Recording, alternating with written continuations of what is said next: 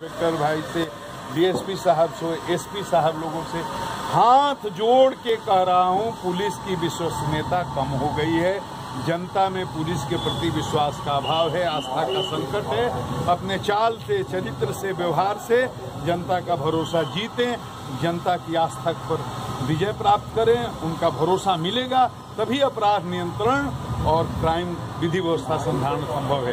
बारह करोड़ की आबादी की रक्षा सुरक्षा का, उनके मान सम्मान की रक्षा का भार बिहार पुलिस के कंधों पर है। थाना में कोई गरीब जाए, गुरबा जाए, शोषित जाए, दलित जाए, कमज़ोर आदमी जाए, जिसके पास पैसा नहीं पैरवी नहीं, उसको थाना पर इज़्ज़त से बैठाइए, सम्मान के साथ उससे बात कीजिए, उसको एक गिलास पानी पिलाइए, उसकी समस्या को सुनिए, उसकी मदद करिए।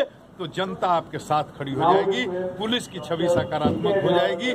मैं चाहता हूँ कि जो थानेदार जहाँ हैं वो अपने में जनता के बीच में अपना हीरो बने कि वहाँ हम जब जाएँ तो जनता कहे कि हमारा थानेदार कैसा हो तो इस आदमी जैसा हो। डीएसपी अपने अपने अनुमंडल में जनता का हीरो बने अपने काम से अपने चाल से चरित्र से कि हम जाएँ तो वहाँ की जनता कहे कि हमारा डीएसपी कैसा हो तो फला आदमी जैसा हो।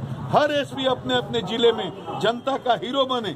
कि जहाँ हम जिस ज़िले में जाएँ तो वहाँ जनता कहे कि हमारा ही एसपी कैसा हो, फला आदमी जैसा हो। लेकिन ये हीरो बात से कोई नहीं बन सकता।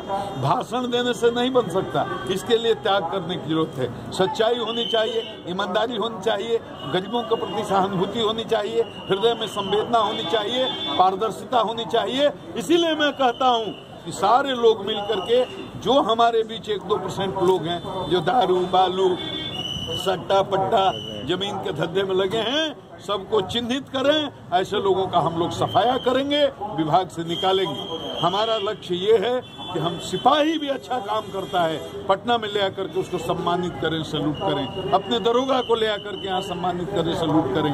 इंस्पेक्टर को ले आकर सम्मानित करें सैल्यूट करें। लेकिन जो माफियागिरी करेंगे उनका गला कटने से कोई रोक नहीं सर रैली को लेकर के पटना पूरी सुरक्षा की व्यापक तैयारी